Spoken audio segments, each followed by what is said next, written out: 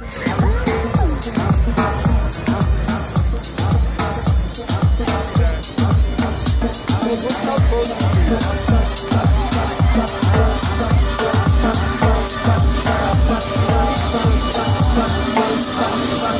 think it burns my sense of truth to hear me shouting at my youth. I need a way to sort it out. After I die, I'll reawake, redefine what was at stake from the hindsight of a god. I'll see the people that I use, see the silence I abuse, the ugly places that I live.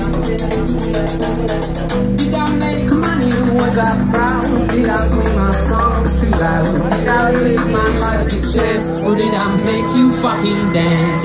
dance?